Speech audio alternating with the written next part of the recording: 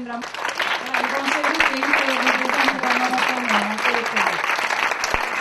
che è più giovane magari dipende più Maria Sanza.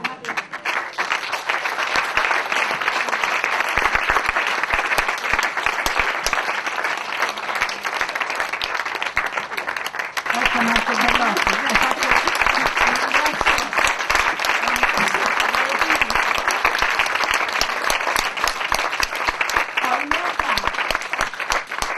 Ecco, sono stati tutti molto applauditi. Ecco, Il cinema, eh, fatti i conti con il passato, a giudicare da un film come quello di Bellocchio, forse si sta aprendo ad un passaggio verso un futuro diverso. Eh, non so se sia così, però mi sembra un buon inizio per dare la parola a Bellocchio dopo tante cose che ha detto su questo film. Il fatto che il suggerimento, la proposta sia venuta dall'esterno ehm, è un segno proprio di, almeno per me curiosamente, è una curiosità, può darsi che dietro questa curiosità ci sia qualcosa anche di leggermente più profondo, so, che poi io mi sono applicato a questo soggetto, elaborandolo a modo mio, e, eh, e questo soggetto personale parla di un fatto, eh, di una tragedia italiana tra le più tragiche, insomma, di questo dopoguerra. Ecco.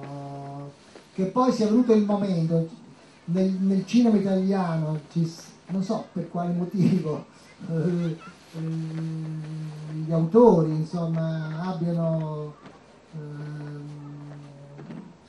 abbiano trovato quel distacco e quel coinvolgimento per parlare in modo personale di, un- di tragedie o di storie come queste, eh, io non lo so,